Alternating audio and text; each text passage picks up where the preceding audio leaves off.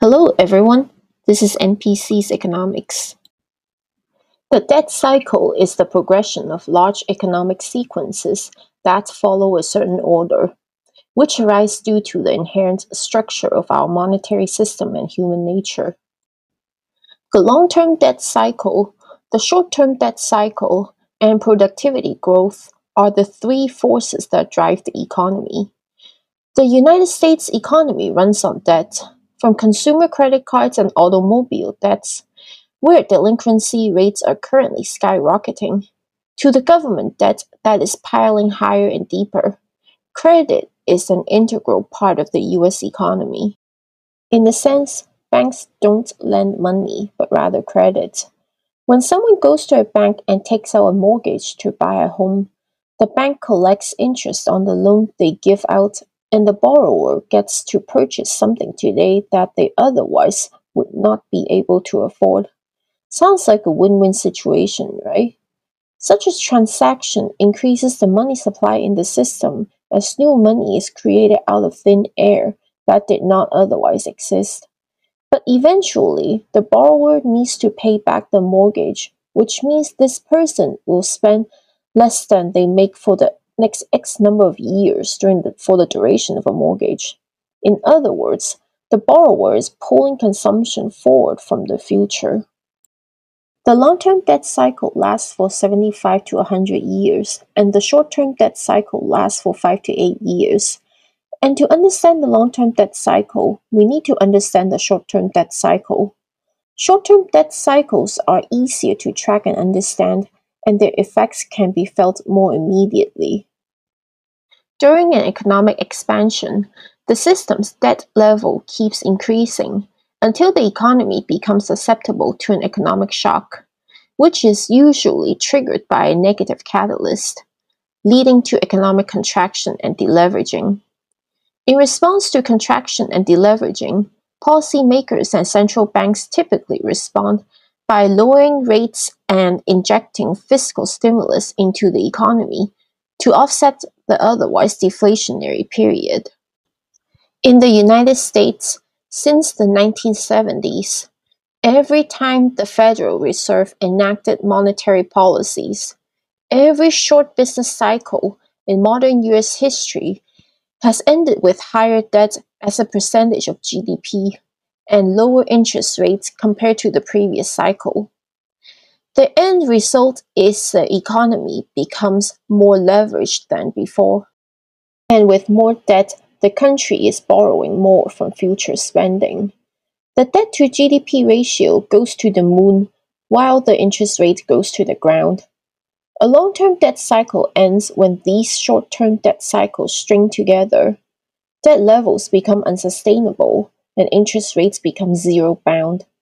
And since debt levels have gone to the moon, the usual policy tools don't work anymore, forcing policymakers and the central bank to use unconventional tools. Those who are familiar with Ray Dalio's work, such as how the economic machine works, should be very familiar with what I have just said so far.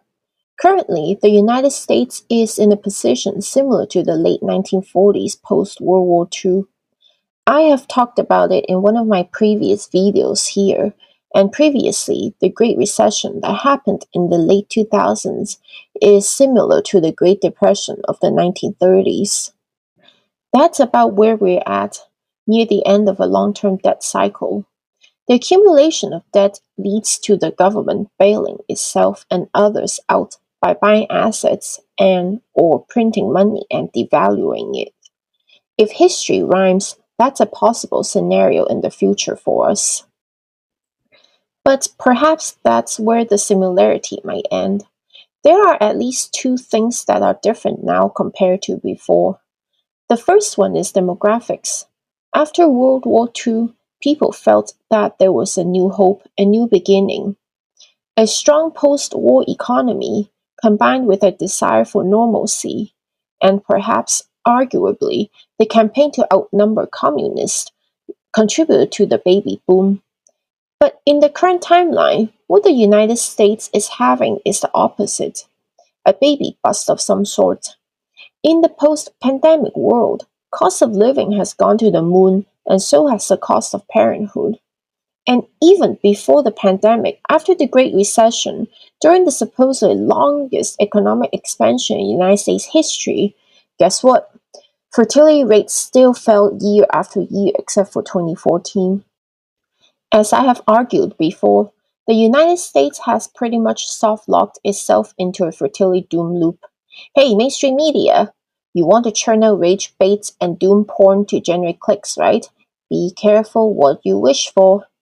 I simply cannot think of a situation where people are enticed to reproduce, at least not with the paltry lip service from the establishment.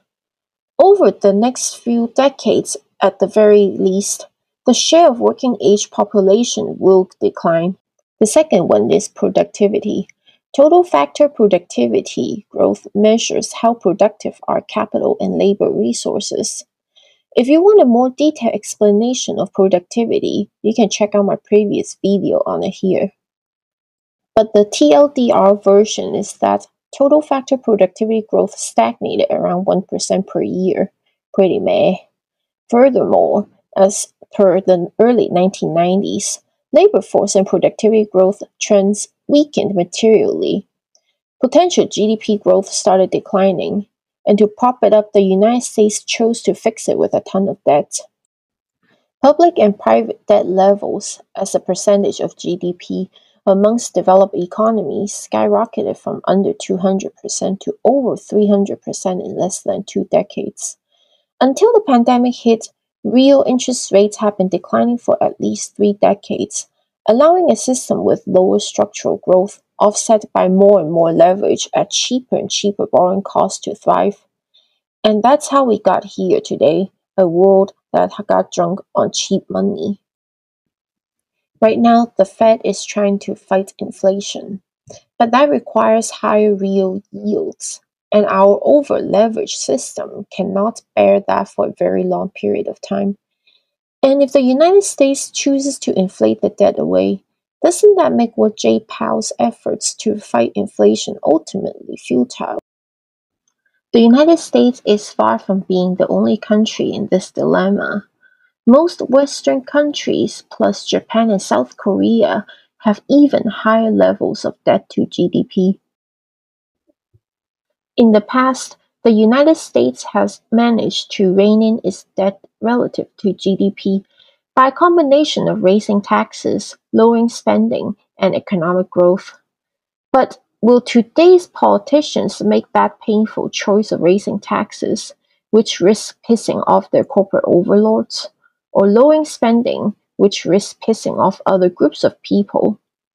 With the headwinds of aging demographics and lower productivity, it would take a real miracle for economic growth to outpace debt. So what do you think? If you like this video, please subscribe for more videos like this one and let me know your thoughts in the comments and I'll see you next week. Bye!